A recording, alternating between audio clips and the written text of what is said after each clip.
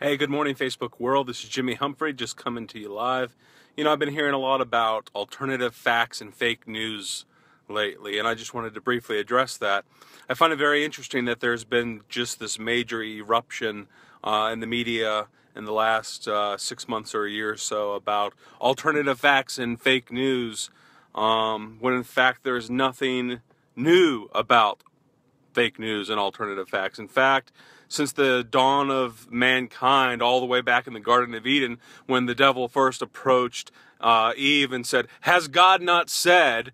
Uh, there has in fact been fake news. Um, and there's been fake news throughout all the course of human history.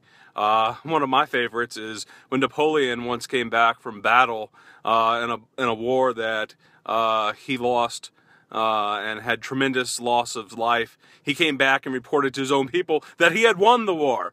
Um, so, you know, seeing that uh, journalists, you know, report fake facts in news and politicians lie, shocking, I know.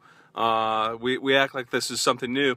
Uh, but in truth, um, the, the, the, the thing you're seeing in the media a lot lately about fake news and alternative facts isn't the fact that there's fake news and alternative facts so much as the fact that there is uh, more sources than ever today competing for your attention on social media and on TV to report what the news actually is. Um, that translates into ratings, that translates into dollars, that translates into brand loyalty, uh, marketing, uh, whatever you want to say uh, about how uh, news companies ultimately make their dollar.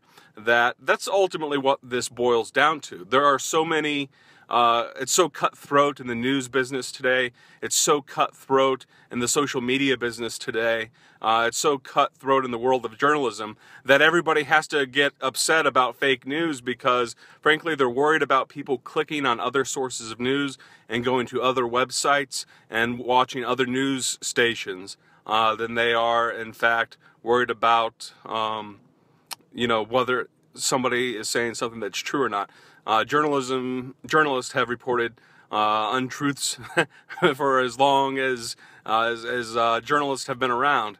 Um, so you know, ultimately, at the end of the day, this is not about whether Donald Trump's a liar or not. Of course, he is, uh, or whether his you know his press secretary lied yesterday. of course, he lies. That's what presidential press secretaries get paid to do. They get paid to spend and lie. Um, so it's not like this is new. Uh, but the fact is, today we live in a very competitive landscape in which everybody's trying to make a buck, and everybody needs you to click their article first before you click somebody else's. Um, and they're worried that uh, not about the truth itself, but they're just worried about ultimately losing business and uh, losing your attention span. So anyway, I just thought I'd toss that out there. Uh, tell me what you think.